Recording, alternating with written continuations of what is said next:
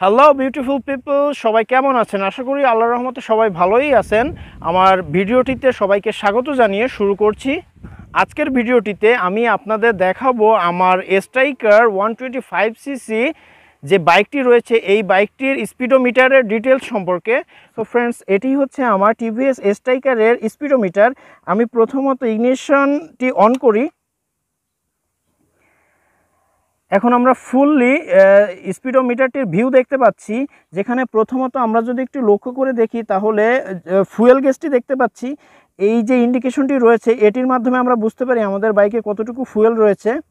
আমাদের বাইকটি কত কিলোমিটার পার আওয়ারে রান করে, সেটার ইন্ডিকেশনটি আমরা এখানে দেখতে পাই। মোট আমার বাইকটি তিরিশ হাজার আটশো ছত্রিশ দশমিক শূন্য কিলোমিটার রান করেছে।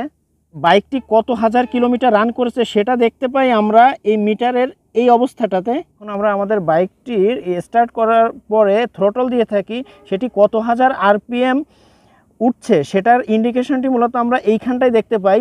যদি কিনা আমি এখনই স্টার্ট দিয়ে দেখাচ্ছি, আপনারা দেখতে পাচ্ছেন যে এখন আমার বাইকটি আছে এক হাজার আরপিএমে যদি আমি থ্রোটলটি বাড়িয়ে থাকি, তাহলে দেখতে পাচ্ছেন যে দুই হাজার, তিন হাজার, চার হাজার এভাবে করে বাড়ছে, কোনো গিয়ারে না থাকে, তখন নিউট্রালের ইন্ডিকেশনটি ঠিক এখানে দেখিয়ে থাকে।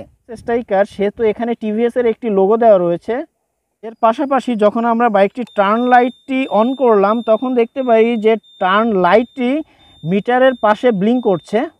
যখন রাতে রাইড করার সময় হেডলাইটটি জ্বালানো থাকে, ঠিক তখনই আমরা এখানে পাস যে সুইচটি রয়েছে, এটা প্রেস করলে আমাদের মিটারেও ইন্ডিকেশন দিয়ে থাকে। বাইকের মিটারটি নিচে একটি সুইচ দেখতে পাচ্ছি। সুইচটি প্রেস করে আমরা দেখতে পাই যেখানে ট্রিপ নামে একটি অপশন রয়েছে, যেটাতে দেখাচ্ছে পাঁচশো আঠাশ পয়েন্ট ছয় কিলোমিটার।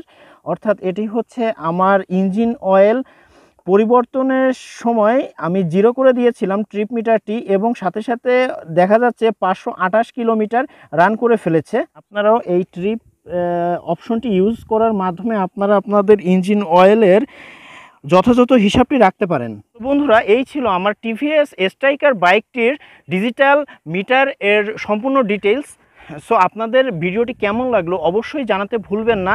আজ আর কথা না বাড়িয়ে আমার এই ভিডিওটি এখানেই শেষ করছি। সবাই ভালো থাকবেন, সুস্থ থাকবেন। আল্লাহ হাফেজ।